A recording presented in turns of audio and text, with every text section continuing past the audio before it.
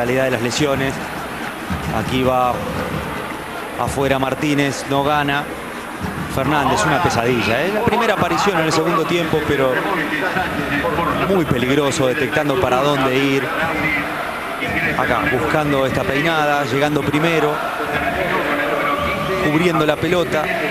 Ahí tira un centro que pasa entre las piernas de Cajáis y después la llegada de, de Carrillo finalmente. Un poco exigido, pero le da la suficiente violencia como para vencer a,